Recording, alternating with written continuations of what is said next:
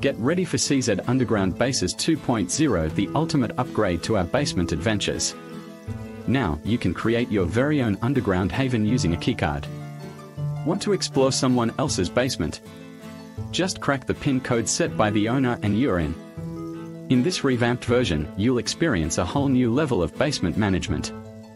Admins hold the power to delete any basement, with players safely teleported out upon relog. No more accidental deaths while exiting with a sleek UI for easy basement control. With a new large basement model and flexible 4 or 6 digit passcodes, customization is key. Your entry location is now tracked accurately, ensuring a seamless experience. Want added security? Force keycard access or damage it for extra challenge. Remember, CZ Underground Bases 2.0 requires a bit of config tweaking for optimal performance. Don't worry, setting up is a breeze.